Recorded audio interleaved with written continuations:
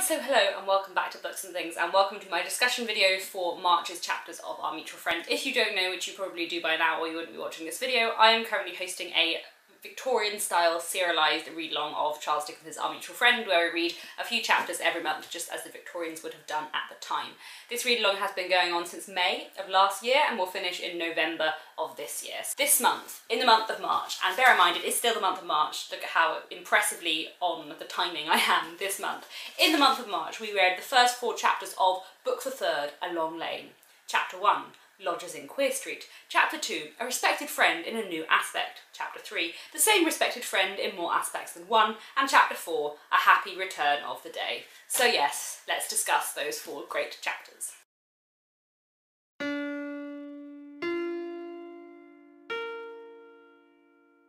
Let us talk about chapter one, Lodgers in Queer Street.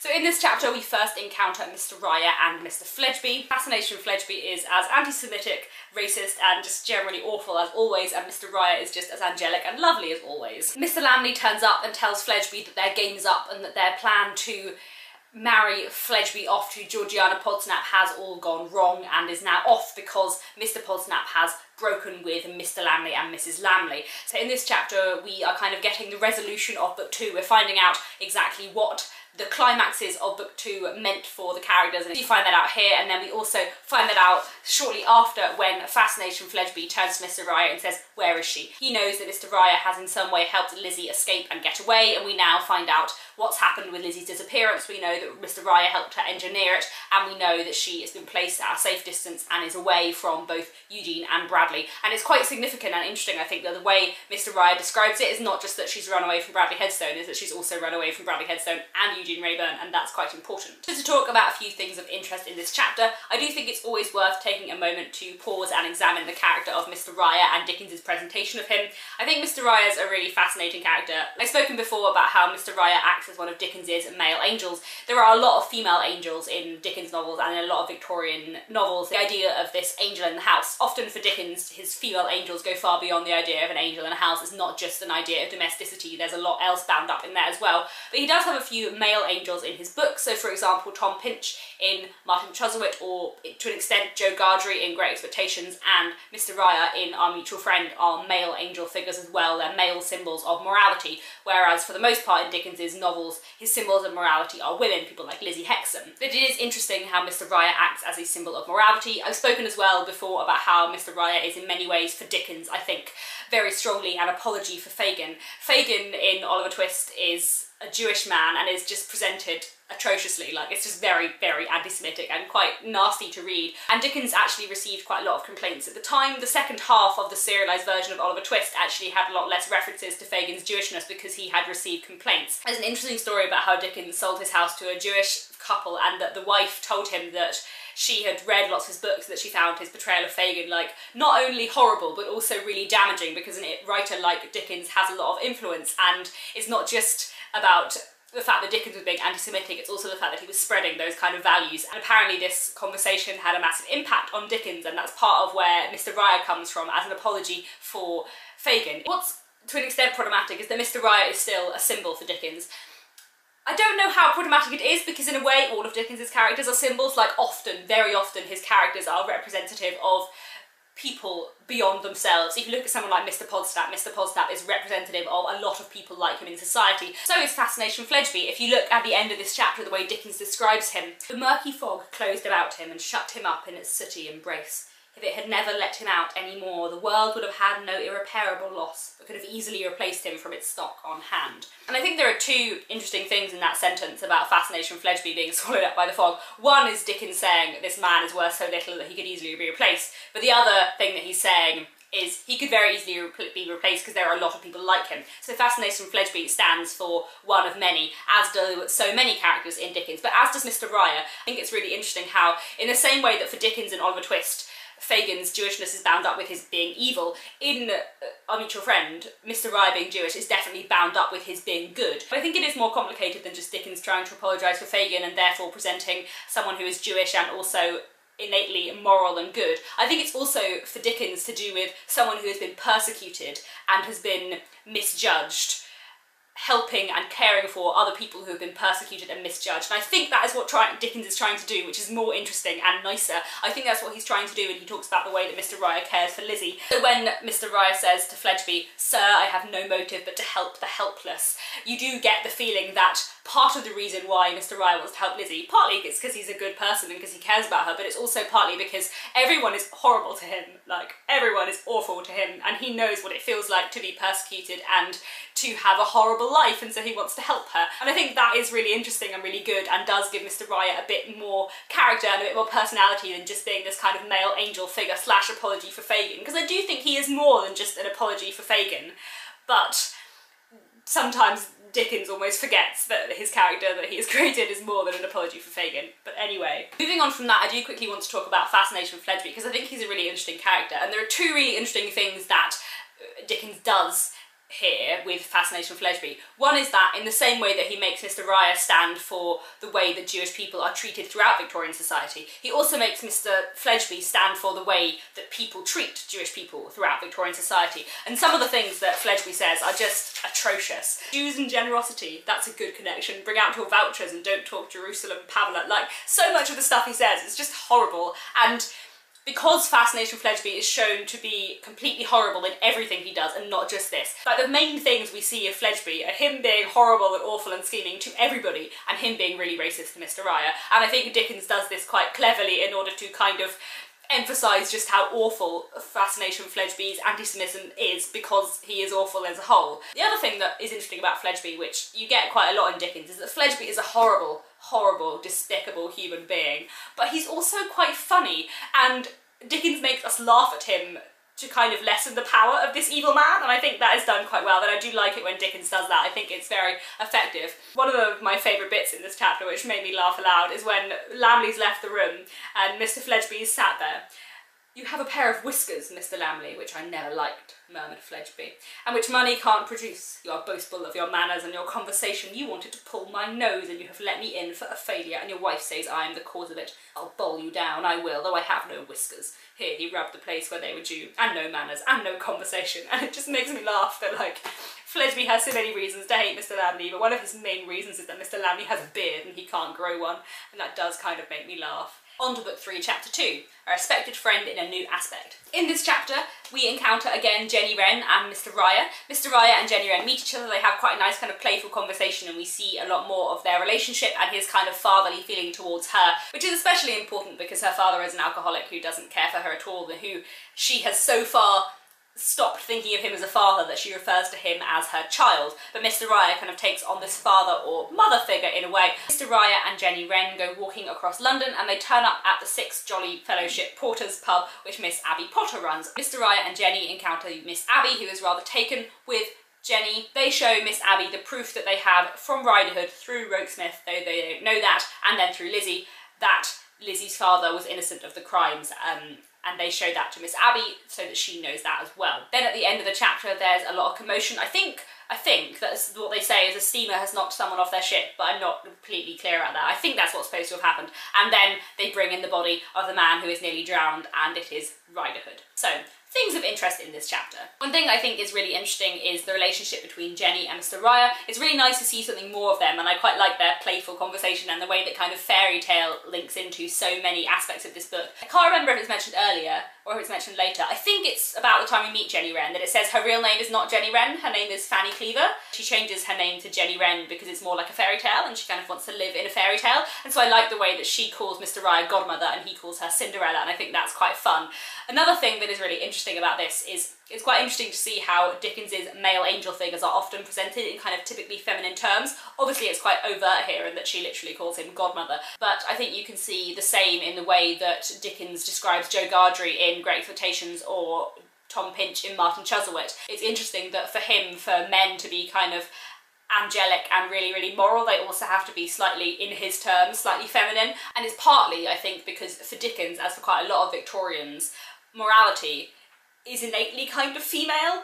I could, I've talked about this quite a bit and I'll talk about this a lot more as we go later through the book because I think Lizzie throughout this novel is quite an interesting kind of beacon of morality and it's very important that she is a female beacon of morality for Dickens. But I do think that when it's interesting that when you do get these kind of male beacons of morality, Dickens often describes them in slightly more feminine language. Another thing I think is quite interesting, just a quick line, but we do get to find out quite a bit more about Mr. Riah in this chapter, where he says, some beloved companionships fades out of most lives, my dear. That of a wife and a fair daughter and a son of promise has faded out of my own, but the happiness was.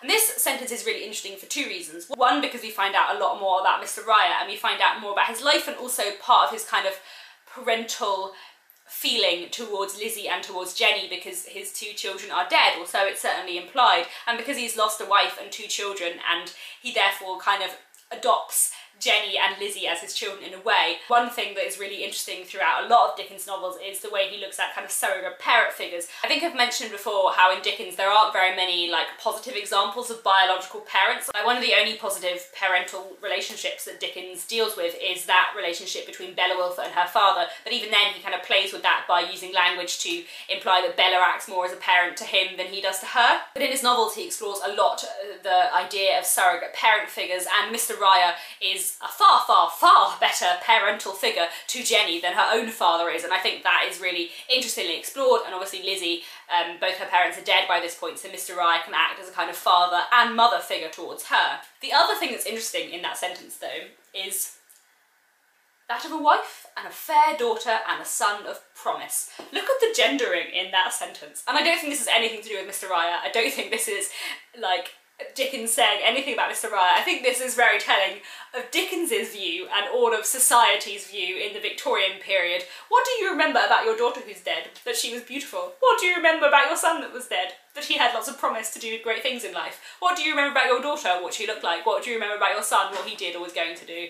Anyway. Another thing I really like in this chapter is when Jenny Wren passes the shop where all of the toys have her dresses. I think that's kind of lovely because I mentioned before how Jenny Wren is one of my favourite characters and one of the things I really like about her is how important her work is to her because I think that's really nice and it's lovely to see in Dickens a very, very positive presentation of female industry and of a woman working, but also to see a positive presentation of a woman working who is working for herself more than she is working for anybody else because that's quite rare until this point in Dickens's career, until this, his last novel. As they were going along, Jenny twisted her venerable friend aside to a brilliantly lighted toy shop window and said, Now look at 'em, all my work. This referred to a dazzling semicircle of dolls in all the colours of the rainbow who were dressed for presentation at court, for going to balls, for going out driving, for going out on horseback, for going out walking, for going to get married, for going to help other dolls to get married, for all the gay events of life. Pretty, pretty, pretty, said the old man with a clap of his hand. Most elegant taste. Glad you like him, returned Miss Wren loftily. And I think that's just a really fun passage because it shows how important that her work is to Jenny and how proud she is of it. But also Dickens describes it in like impressive language, like it is genuinely quite beautiful and quite impressive. And all from this girl who is young, who is still a child. And I think that's just really beautiful and done very, very well. I also love how she talks about going to try on her doll's dresses. I just think it's the most glorious language Look here, there's a drawing room, or a grand day in the park, or a show, or a fete, or what you like. Very well. I squeeze amongst the crowd and look about me. When I see a great lady very suitable for my business, I say, you'll do, my dear, and I take particular notice of her and run home and cut her out and baste her. I love that she bases all her dolls and dolls' dresses on real people that she sees when she's out about. I think that's really fun and very kind of typical of Jenny as a kind of eccentric but wonderful character. When they go on to see Miss Abbey at the Six Jolly Fellowship Porters, yes, that is what it's called, then we have this interesting quick conversation between Miss Abbey and Mr. Riah in which she asks him about Jenny and she says, child or woman? Child in years was the answer. Woman in self-reliance and trial. I think this is interesting in two respects. One, it gives us a bit of a sure idea of just how old Jenny is because child in years for the Victorian period probably means she's less than 16. In my head she's probably about 14, 15, but she could be slightly younger than that, we don't really know. But then it's also interesting that he says woman in self-reliance and trial. And it's quite nice that what defines a woman as opposed to a child for him is self-reliance, so that's kind of a nice, interesting gender thing there. But also, I think it shows like Jenny is such an interesting character because in many ways she is a womanish child and Dickens does quite interesting things both with gender and also with like age there in that she feels so much more mature than a lot of like the other characters she encounters and it makes her very independent and very kind of exciting and wonderful to read about. And like I've said, she's she's quite possibly my favourite character in all of literature. Bradley Headstone is probably the character in all of literature I find the most interesting, but Jenny Wren is probably my favourite. I love her a great deal. I really like Miss Abbey as well, actually. I think she's really nice, and I like the way she talks about Lizzie. I think she is a very kind of strong and interesting character in her own right as well. It proves, which didn't need much proving, that Rogue Riderhood is a villain. I have had my doubts whether he is not the villain who solely did the deed, but I have no expectation of those doubts ever being cleared up now. I believe I did Lizzie's father wrong, but never Lizzie's self. Because when things were at the worst, I trusted her. She will find a home at the Porters and a friend at the Porters. I just think she's a very interesting character, and for all that she is gruff, she is also kind, and that is quite effective. I think she's a really interesting character, and yeah, I wish I'd thought about her more. When I wrote my dissertation on gender and Dickens, and I went on a lot about our mutual friend, I don't think I mentioned Miss Abbey Potterson once, and that is a real shame because she is great. And then, of course, at the end of the chapter, Mr. Riderhood gets brought in, nearly drowned. Which leads us on very nicely to the next chapter. Book 3, Chapter 3 The Same Respected Friend in More Aspects Than One. So, what happens in this chapter is quite simple and it's not a very long chapter, so I don't think I'll spend too long on it. Basically, Mr. Riderhood is brought in having been nearly drowned, and the company try to bring him back to life. What I think is really interesting, what Dickens explores quite well, is that when Riderhood is nearly dead, when he is kind of hovering between life and death, suddenly everyone who hates him kind of cares about him more because it's just a person struggling for their life, and so of course they have to help them. This gives Riderhood's daughter, Pleasant, this kind of momentary hope that things could be better, but then of course the moment he recovers and kind of splutters back into life, everybody remembers that they hate him and he is just horrible to everyone, even though they've saved his life. He's really annoyed that they didn't save his hat. The substance of this chapter, in a way, is kind of proving the humanity of everyone else in this pub, that when a dying man is brought in, they try to help him, and also proving that Riderhood is just inherently and forever bad. Even this brush with death doesn't change him at all. It's basically kind of cementing his character as a villain. So things of interest in this chapter. One thing which I'd forgotten about is that this chapter is in the present tense. And this is really interesting, especially because it goes straight after. It leads on directly from another chapter that is in the same place that's in the past tense, but now you move into the present tense effectively for no other reason I can see them for the kind of dramatic tension of it and I think that's quite powerful and quite effective and I'd forgotten that this chapter was in the present tense. Another thing, I just, I love Dickens's writing in this chapter. I think it's just beautiful. I'm just going to read you two passages. I don't think I have much like to say about them but I think they're great so I'm going to read them. No one has the least regard for the man. With them all he has been an object of avoidance, suspicion and aversion. But the spark of life within him is curiously separable from himself now, and they have a deep interest in it, probably because it is life, and they are living and must die. If you are not gone for good, Mr. Riderhood, it would be something to know where you are hiding at present. This flabby lump of mortality that we work so hard at with such perseverance yields no sign of you. If you are gone for good, rogue, it is very solemn, and if you are coming back, it is hardly less so. I just think Dickens is such a great writer. I really, really do. I've been thinking this a lot. I've been reading Elizabeth Gaskell, and I love Elizabeth Gaskell. She's probably my third favourite novelist after Charles Dickens and Jane Austen. But I think I love her novels more than I love her writing. If you gave me like a random paragraph of Gaskell, I don't think I'd find it particularly exciting, though I find her books incredible and brilliant and beautifully, wonderfully done. But Dickens, like, every sentence I'm like, oh, that's a good sentence. Because I just think he writes so brilliantly. His writing style is just what I love. It's so odd and adventurous and eccentric, and I love it. And it's also quite modern. Like if you look at the passage where Riderhood is kind of coming awake and the way that Dickens uses like paragraphs and line spacing. So for example, if you look at the way he uses space here, I think it's really interesting. Holding up this book like this, I see I have quite a lot of tea stains on the front. Anyway, stay. Did that eyelid tremble? So the doctor, breathing low and closely watching, asked himself. No. Did that nostril twitch? No. This artificial respiration ceasing, do I feel any faint flutter under my hand upon the chest? No over and over again, no, no, but try over and over again, nevertheless. See a token of life, an indubitable token of life. Like, there's something so interesting and so almost modern about the way Dickens writes in passages like this where he doesn't write in full sentences, which I think is something we often forget that the Victorians did. For the moment I'm writing a historical novel set in the Victorian period and I'm trying to write it in a very like Victorian style and every now and then I write something I'm like, no, that's too modern for the Victorians. And then I read Dickens and I'm like, no, no, the Victorians did all kinds of fascinating things with language. They didn't just write in like plain full sentences. They played with language a lot. And that's what I love about Dickens, where he plays with language and with voice. Like, who is speaking there? Is it kind of the doctor? Is it kind of everyone in the room, their kind of united voice? Or is it just kind of Dickens as the author? Like, it's just so, it's so great. It's so great. That's all I have to say. I think the end of this chapter is really interesting because, like I mentioned, when Riderhood wakes up, he basically cements himself as a villain. Like, even a brush with death this much cannot make him a better man. His two thoughts on waking up is one, that he wants to sue the steamer who has nearly drowned him, and also that he's lost his fur cap and he's really annoyed that no one picked it up in the river, not remotely grateful for the fact they saved his life. Like, the main purpose of this scene, the main purpose of Riderhood's near-death experience is to cement him as a villain who cannot be made good, who no event can make good. I think there is kind of another purpose to this scene to do with the way that Riderhood perceives his own mortality, which I'll talk about a little bit later in book four, because it's not really relevant here. But I think the main purpose in this bit is to just show that Riderhood is a bad person and that no amount of near-death experiences or anything like that can make him a better one. Moving on to book three, chapter four, A Happy Return of the Day a very ironically happy return. So in this chapter, basically, we have a dinner party at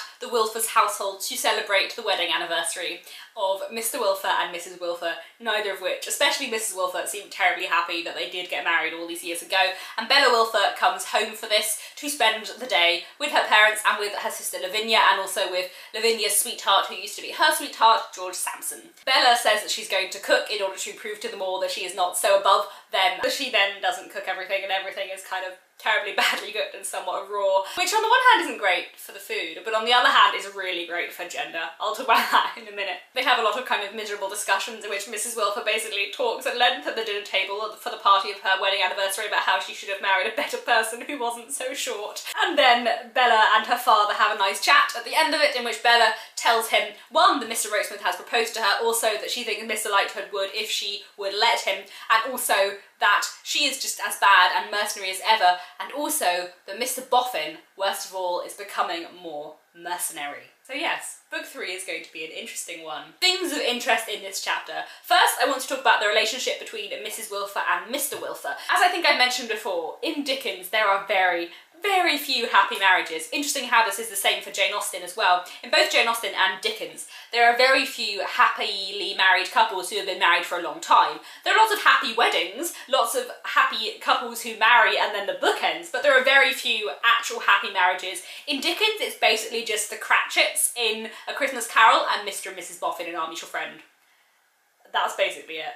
I genuinely cannot think of another happily married couple who have been married for more than like a year presented in a Dickens novel. It just doesn't happen. Mr. and Mrs. Wilfer's unhappy marriage is very interesting. It's one of those marriages, like Mr. and Mrs. Bennet in Pride and Prejudice, that is hilarious until you suddenly realise how atrociously sad it is. It's so miserable. It's really miserable. They're both really unhappy and she's just horrible to him and he just like sits there is like, well, I know you don't love me and you wish you married someone taller. He blends humour and misery so wonderfully. So wonderfully. The noble lady's condition on these delightful occasions was one compounded of heroic endurance and heroic forgiveness. Lurid indications of the better marriages she might have made shone athwart the awful gloom of her composure and fitfully revealed the cherub as a little monster unaccountably favoured by heaven who possessed himself of a blessing for which many of his superiors had sued and contended in vain. As for the children of the Union, their experience of these festivals had been sufficiently uncomfortable to lead them annually to wish, when out of their tenderest years, either that Ma had married somebody else instead of the much-teased Pa, or that Pa had married somebody else instead of Ma. When their came to be but two sisters left at home, the daring mind of Bella on one of these occasions scaled the height of wondering, with droll vexation, what on earth Pa could have ever seen in Ma to induce him to make such a little fool of himself as to ask her to have him. And then this is one of my favourite passages in this chapter. Look at Ma, whispered Lavinia to Bella when this was done, and they stood over the roasting fowls. If one was the most dutiful child in existence, of course, on the whole one hopes one is. Isn't she enough to make one want to poke her with something wooden sitting there bolt upright in the corner? Well, Ma, returned Lavvy, since you will force it out of me, I must respectfully take leave to say that your family are no doubt under the greatest obligations to you for having an annual toothache on your wedding day, and that it's very disinterested in you and an immense blessing on them. Still, on the whole, it is possible to be too boastful even of that boon. Upon which Mrs. Wilfer calls her an incarnation of sauciness. And one of the things that is the funniest and most sad in this chapter is when Mrs. Wilfer is describing how her parents told her to marry somebody tall and never to marry a small man. I think I find this especially funny because I'm really short and I come from a family of very short people. I well remember Mamma's clasping her hands and exclaiming, this will end in a little man. She afterwards went so far as to predict that it would end in a little man whose mind was well below the average. Within a month, said Mrs. Wilfer, deepening her voice as if she were relating a terrible ghost story, within a month I first saw R.W., my husband. Within a year I married him. It is natural for the mind to recall these dark coincidences on the present day. As I said, it's one of those things in Dickens which is incredibly funny until you remember how really sad it is. The other thing of interest in this chapter I want to discuss is Bella and the cooking. Bella, in an effort to show her parents that she is not so bad as they think and that she is not so high and mighty as they think, says, I mean to be cooked today. And then she is really bad at cooking. I do find it absolutely hilarious when her father cuts the chicken and she says, but what makes them pink inside, I wonder? Pa, is it the breed?